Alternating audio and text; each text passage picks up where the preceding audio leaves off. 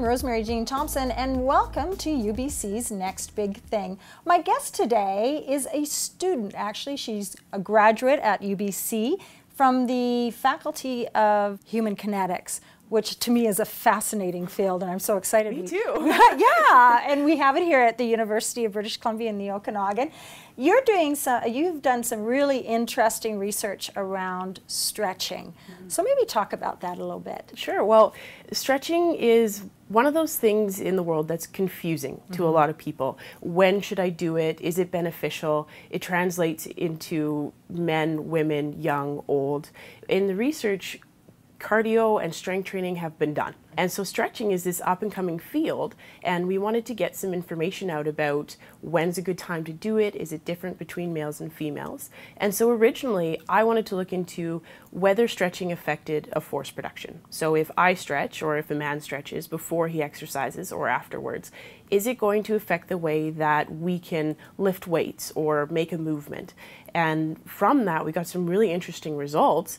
And so we changed the question a little bit to look at these differences between males and females. Interesting, because I know as a pseudo, you know, exercise uh, enthusiast that stretching has always been a, a bit confusing for me. And when has been the best time and you hear so many things. But now your, your research is saying that maybe it's different for females than it is for males. So what did you discover? On a very preliminary basis, we did find that there was a difference between males and females in the effect of stretching and more where the body stretches when you're comparing a male and a female. Mm. So we use ultrasound to actually look inside the muscles and inside the tendon.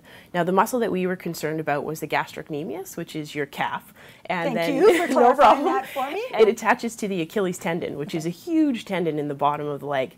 And we use ultrasound to look at the architecture of the muscle. So when we say architecture, we're dealing with fascicle length or muscle fiber lengths, and also the pennation angle, which is the way that these fibers connect to the bottom of the muscle, and then the effect that stretching has in terms of tendon length, and then the changes in the architecture.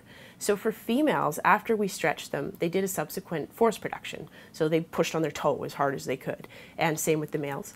With the females, we found that there was a lengthening in the tendon after the stretch. And in the males, we didn't find that. And then in the males, we found that their muscle architecture changed. But in the females, we didn't find that. So, so what would that mean? Does it mean it affects your body being prepped to do the exercise that's coming up or to to benefit from the next exercise that one's about to do? It affects the way that your body absorbs the stretch and also the way that it'll be able to recover from that stretch in the oh, okay. next force movement. So for a female, if their tendon got longer, they created this almost slack in the tendon, which needs to be taken up before they can push again.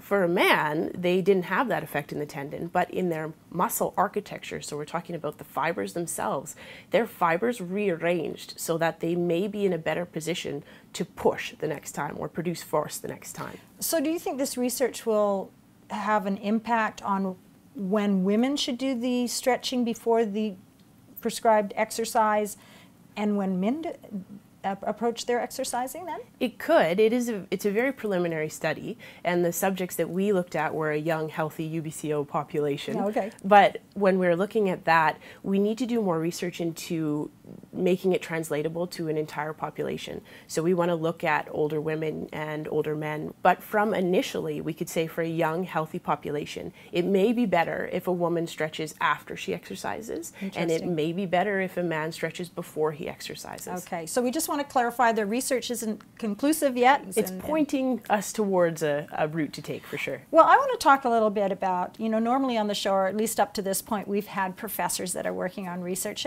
but you're a student and you're actually going into your master's really soon.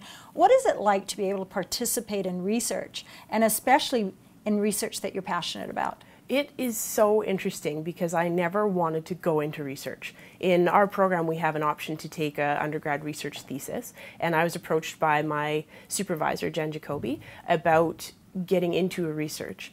And we talked about what we could do. And right from the get go, you're designing your own research project, you're executing the project, you're recruiting people to come in, and then you actually get to see the results come to light in front of you.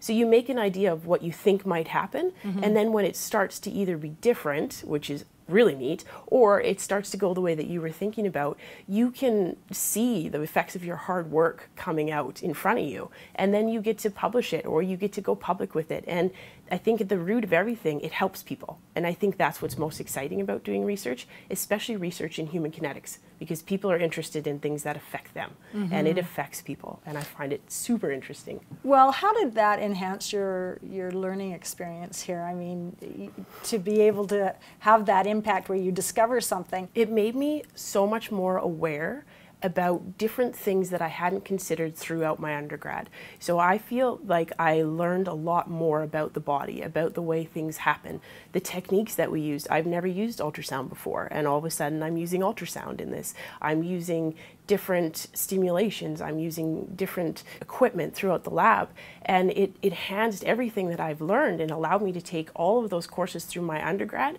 and turn it into something in this finite project that I can present and say, look what I learned, and now look how I can present it to you throughout those four years. Wow, that sounds so exciting. It was, it was really neat. Did it help you decide to go in, into your master's? Definitely, because like there's so much room left in this research field. Right. The master's is going to be a continuation of this project in some way, shape, or form. How long does this effect last? How is it for older women? How is it for older men? Is this effect the same if someone's athletic, if they're not athletic? There's so much more research that I can do now from this infantile little project. It can now become something so much bigger and I love that about it. Oh, how exciting! Yeah.